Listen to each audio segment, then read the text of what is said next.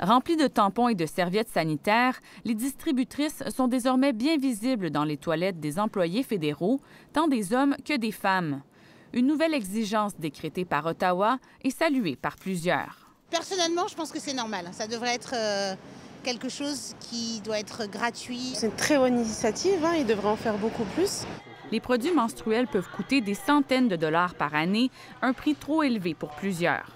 Une Canadienne sur quatre est concernée, en fait, a dû faire le choix au cours des 12 derniers mois de, de faire le choix entre s'acheter les produits menstruels ou d'autres produits essentiels. Certaines personnes portent donc leurs produits trop longtemps, ce qui pose un risque pour la santé, de chocs toxiques par exemple. Fournir ces produits gratuitement est donc aussi une question de santé publique. Est-ce qu'on amène notre papier de toilette quand on va au travail et qu'on utilise les salles de bain dans notre milieu de travail? Ben non.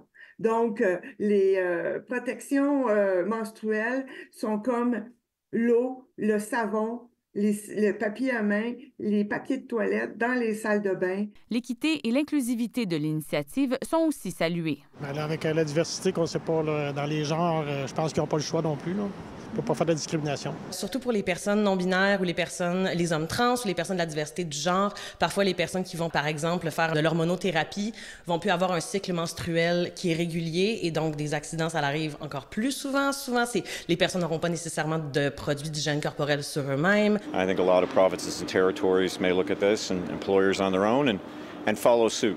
Par son initiative, le gouvernement fédéral espère convaincre les provinces, les territoires et des entreprises de limiter une évolution naturelle selon Ottawa. Ici Audrey Neveu, Radio-Canada, Montréal.